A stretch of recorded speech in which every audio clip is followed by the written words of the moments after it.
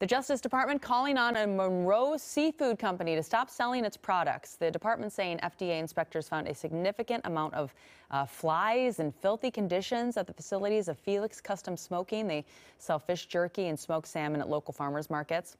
Inspectors say they took samples of the facility. Those showed traces of listeria. The Justice Department says the owner has to eliminate listeria from the facility and make cleaning improvements before any more seafood is processed.